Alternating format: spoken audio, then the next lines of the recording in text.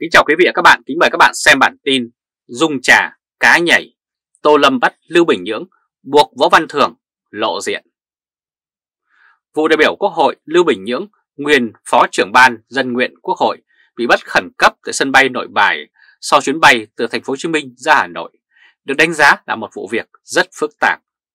Liên quan đến cuộc đấu đá ở thượng tầng cung đình giữa các phe cánh trong nội bộ của Đảng Cộng sản Việt Nam.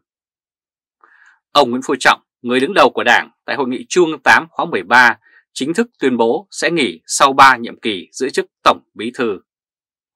Đây được coi là tiếng còi báo hiệu cho cuộc đua nhân sự chủ chốt của Đại hội 14 chính thức bắt đầu được khởi động. Dư luận chê trách Bộ trưởng Tô Lâm đã mượn tay Công an Thái Bình để bắt khẩn cấp ông Lưu Bình Nhưỡng, một đại biểu quốc hội được lòng dân, người đã từng làm dạng danh cho quê hương 5 tấn, trong khi chưa có bằng chứng gì chắc chắn cả. Vì nếu có chứng cứ ông Nhưỡng phạm tội cưỡng đoạt tài sản, tại sao không chịu công khai? Công an tỉnh Thái Bình thực hiện lệnh bắt và khám xét với ông Lưu Bình Nhưỡng tại sân bay Nội Bài.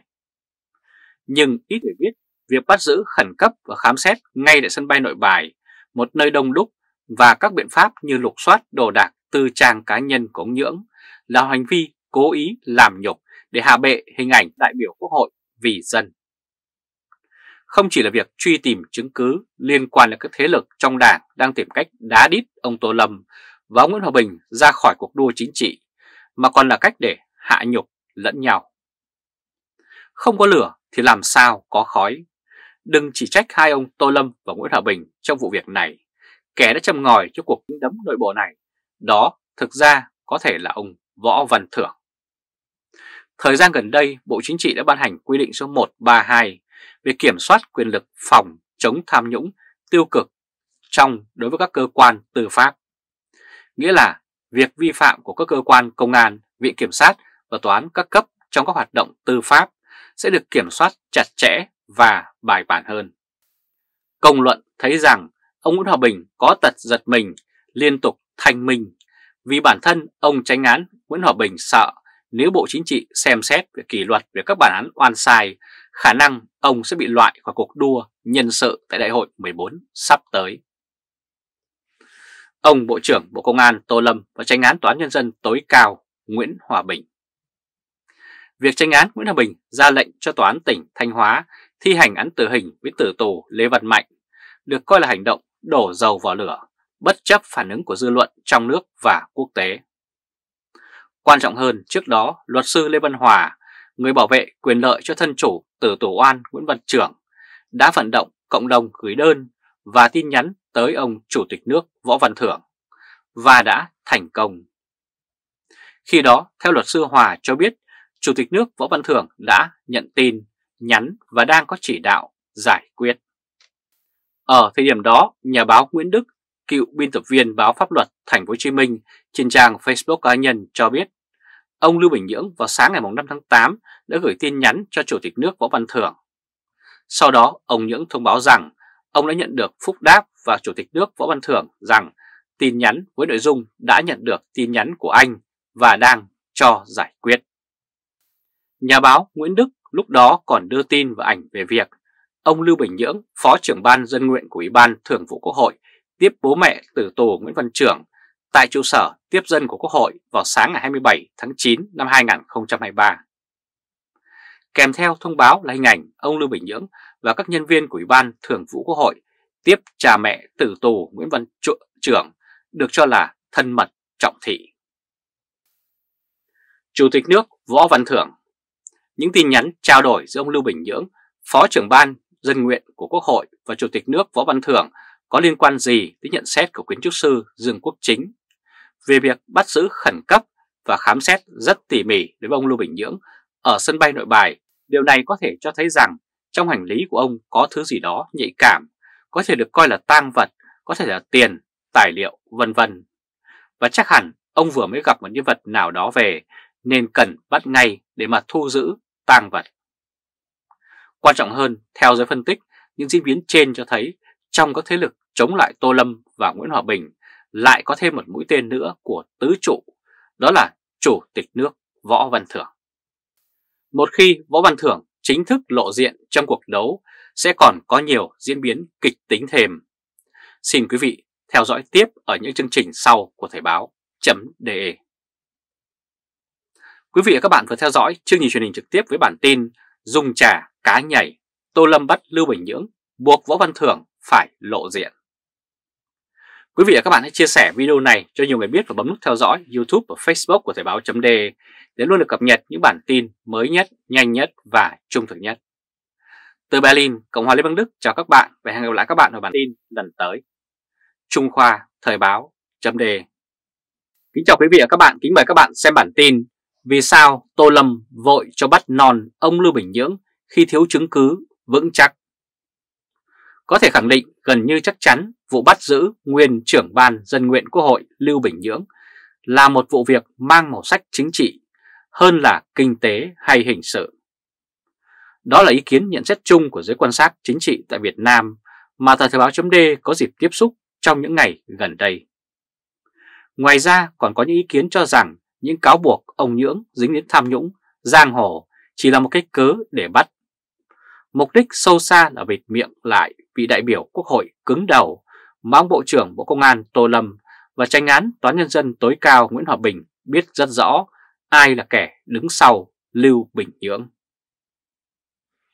Cựu đại biểu Quốc hội Lưu Bình Nhưỡng trong một phiên chất vấn ở nghị trường Quốc hội khóa 14.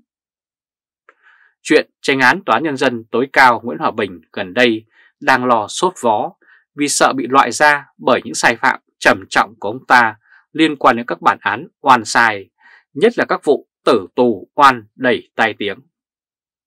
Trong lúc Bộ trưởng Công an Tô Lâm đang nằm trong thế trận bát quái của các đối thủ chính trị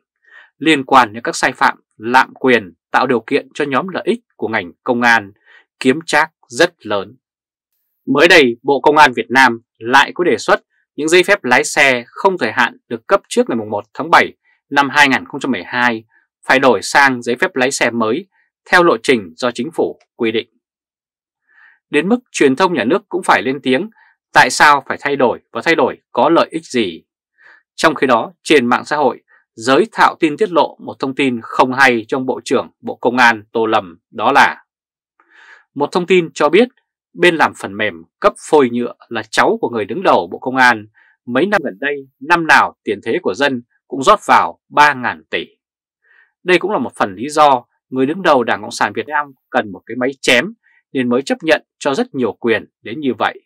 Cho đến hiện tại, người đốt lò cũng chỉ hy vọng người kế tiếp cản lại được cơn bành trướng này. Những điều vừa liệt kê có liên quan gì tới bản tin của tờ báo Tuổi Trẻ vào ngày 10 tháng 11 với cái tít hàng triệu giấy phép lái xe đang sử dụng bình thường, vì sao phải đổi? Theo đó, đại biểu Vi Đức Thọ của Sơn La cho rằng các giấy phép lái xe thuộc phạm vi trên chủ yếu là giấy phép lái xe máy không thời hạn, số lượng rất lớn.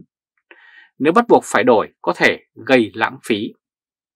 Điều này có liên quan gì tới việc ông Tô Lâm phải cho bắt ngay ông Lưu Bình Nhưỡng sau khi thiếu chứng cứ vững chắc? Hàng triệu giấy phép lái xe đang sử dụng bình thường, vì sao phải đổi như vậy? Trở lại câu chuyện ông Bộ trưởng Bộ Công an Tô Lâm và tranh án Tòa Nhân dân tối cao Nguyễn Hòa Bình biết rất rõ ai là kẻ đứng sau lưng ông Lưu Bình Nhưỡng. Hay nói chính xác, ông Nhưỡng chỉ làm cái loa cho lãnh đạo quốc hội trong thời gian vừa qua. Nghĩa là ông Nhưỡng cũng chỉ là nạn nhân trong một âm mưu chính trị của Vương Đình Huệ nhằm loại bỏ Tô Lâm và các đối thủ chính trị khác trong cuộc đua nhân sự chủ chốt cho đại hội 14 và hơn thế nữa là chiếc ghế Tổng Bí Thư. Các đối thủ của Vương Đình Huệ hiện nay là Phạm Minh Chính, Võ Văn Thưởng và một đối thủ không kém quan trọng là Đại tướng Bộ trưởng Bộ Công an Tô Lâm. Tại sao phải nói như vậy? Thứ nhất, dù rằng ông Lưu Bình Nhưỡng từng có những phát biểu được ví như cái tát vào mặt Tổng Bí thư Nguyễn Phú Trọng, như không được biến Quốc hội thành căn phòng kín gom góp lợi ích nhóm cá nhân. Trước tình trạng ông Trọng quá lấn sân Quốc hội, tự tay Tổng Bí thư chọn nhân sự đại biểu Quốc hội làm ông xếp Huệ mất miếng. Vậy mà đại biểu nhưỡng khi đó vẫn bình an vô sự, Nếu không phải là cái loa của Quốc hội thì Tổng Bí Thư gạch tên ông Nhưỡng trong một nốt nhạc.